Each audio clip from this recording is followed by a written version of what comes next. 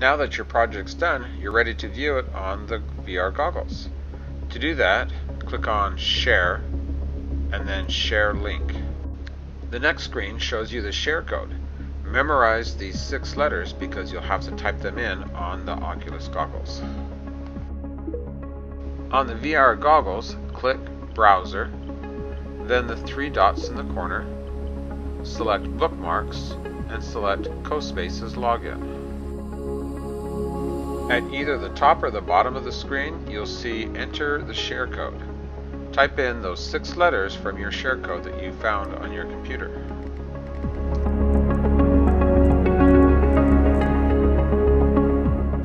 Your project will then open and you can click the play button and view it just like any other 360 video.